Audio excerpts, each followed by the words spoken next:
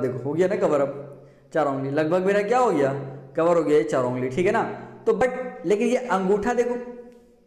ये अंगूठा कवर हो पाया? नहीं हो पाया। ये अंगूठा मेरा कवर हो पाया? नहीं हो पाया। जब ये अंगूठा कवर नहीं हो पाया तो एक्स्ट्रा हो गया ना? ये एक्स्ट्रा हुआ कि नहीं हुआ?